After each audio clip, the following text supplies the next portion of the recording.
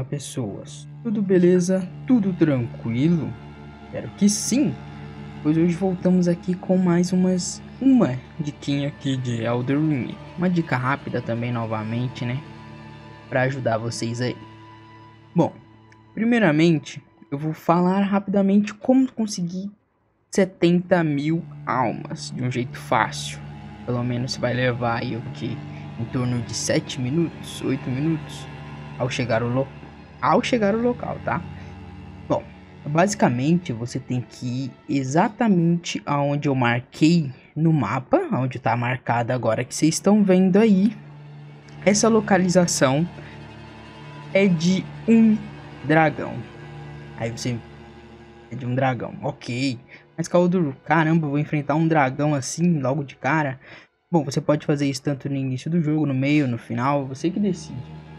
Mas você vai precisar de uma arma que cause hemorragia ou sangramento, né? Que nós, pessoal aí já, já joga Dark Souls da vida, sabe que tipo de arma é. Que causa hemorragia, no caso.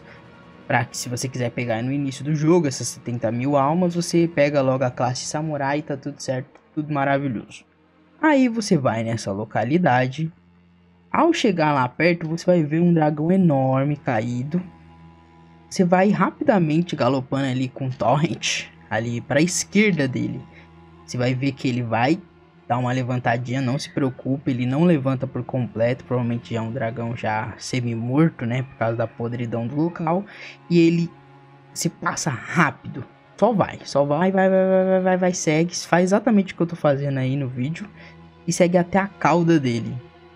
Na cauda você fica na parte de trás e começa a macetar o safado ali até ele sangrar várias vezes. Por quê? Ele não leva quase muito dano, porém o sangramento causa um dano absurdo em cima dele. E por que você tem que ir até a cauda? Porque em volta dele tem dragões menores, ele é enorme. Aí ele causa um. Ele dá um rugido que meio que influencia os outros dragões que estão em volta dele deitado a ficarem nervosos também. Você passando rapidamente pela esquerda e chegando na cauda, os dragões não vão ter tempo de ver você, né? Dele tá acordando. Então, você usa essa tática, passa rapidinho, vai até a cauda e fica lá, blá, blá, blá, batendo. Se caso, igual aconteceu comigo, um dragão começar a se aproximar, você vai um pouco mais pro lado e aí dá tudo certo. Você continua a mesma coisa, a mesma coisa, até ele morrer. Assim que o sangramento for causado, vai ver que o dano vai ser absurdo. Então você fica repetindo isso e aí no final você tem a sua gratificação aí de 70 mil alminhas, né? Feliz da vida ali você fica, dá pra upar alguns níveis dependendo de qual nível você já é. Se for no início, meu amigo, ajuda demais. Sem falar que você ganha um item, o coração de dragão. Bom, por enquanto a dica é essa. O único conselho que eu dou, se você quiser é, ter mais segurança de fazer isso e ter uma graça próxima, você logo atrás da cauda dele, né, as costas, na, na onde tá minha personagem, nas costas dela ali, numas ruínas, tem um, um local de graça para você sentar bem do lado. Se você quiser ir lá sentar e depois voltar aí, vale mais a pena. Bom, é isso.